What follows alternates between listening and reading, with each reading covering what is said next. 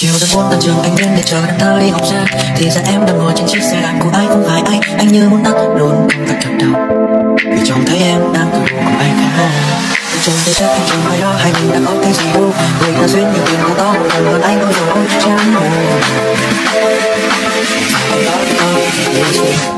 Làm sao anh không thể biết cảm giác em lúc này Chỉ anh mới thấy phút yêu đôi trong mắt đang ngờ ngày Rất nhiều lần mỗi ngày. Xin chào cô và các bạn, hôm nay chúng em xin thuyết trình về tệ nạn xã hội nói chung và tệ nạn mê tín dị đoan nói riêng, mong cô và các bạn cùng lắng nghe. Trước tiên, chúng em xin nói về khái niệm mê tín dị đoan.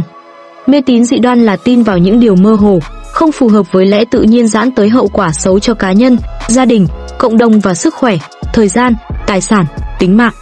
Tiếp đó ta sẽ nói về đối tượng. Đối tượng mê tín dị đoan bao gồm những hành vi ông đồng, bà cốt, tin xin xăm bói quẻ, tin ngày lành tháng dữ, tin số mạng sang hèn, tin coi tay xem tướng, tin cúng sao, cúng hạn, tin thầy bùa thầy chú, tin cầu cúng tai qua nạn khỏi.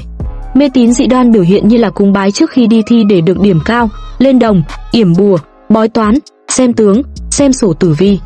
Bản chất của tôn giáo, tín ngưỡng là làm phong phú đời sống tinh thần của con người.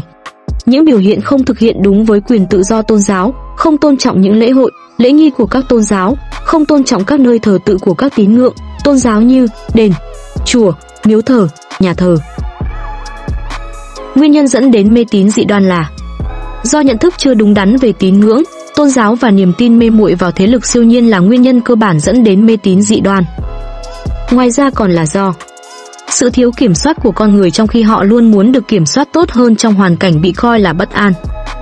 Thời kỳ nhận thức về thế giới, xã hội và con người còn ở trình độ thấp, mê tín dị đoan có mặt trong mọi nền văn hóa, chỉ khác biệt ở mức độ nhận thức con người.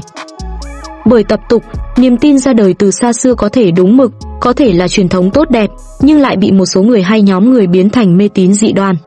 Biện pháp để phòng chống tệ nạn mê tín dị đoan là không quan tâm và tránh xa những biểu hiện mê tín dị đoan. Báo cho các cơ quan chức năng nếu phát hiện. Tuyên truyền cho người thân bạn bè, biết tác hại của nó. Không lần truyền các thông tin sai lệch gây hoang mang. Và mê tín dị đoan cũng thuộc một trong những tệ nạn xã hội tiêu biểu. Vậy tệ nạn xã hội là gì? Ta nên hiểu rằng tệ nạn xã hội là hiện tượng xã hội tiêu cực, biểu hiện thông qua những hành vi trái pháp luật, vi phạm đạo đức xã hội thậm chí là vi phạm pháp luật gây ảnh hưởng xấu đến cá nhân, gia đình và xã hội. Và ta cũng nên hiểu thêm rằng biện pháp phòng chống tệ nạn xã hội là phòng nghiệp vụ thuộc sở, có chức năng tham mưu giúp lãnh đạo sở thực hiện quản lý nhà nước về phòng chống tệ nạn mại dâm, cai nghiện bắt buộc, cai nghiện tự nguyện, quản lý sau cai nghiện ma túy, hỗ trợ nạn nhân bị mua bán trên địa bàn tỉnh. Để khắc phục những hành vi đó, nhà nước đã ban hành 1.1. Nhà nước cần ban hành những văn bản pháp luật về phòng chống tai nạn xã hội. 1.2. Thực hiện công tác tuyên truyền và vận động người dân để nâng cao ý thức. 1.3. Thường xuyên thành tra kiểm tra các tệ nạn xã hội. 1.4. Chính phủ cần đưa ra nhiều biện pháp phát triển kinh tế xã hội Pháp để phòng chống nó. Bài thuyết trình đến đây là kết thúc. Xin cảm ơn cô và các bạn đã lắng nghe.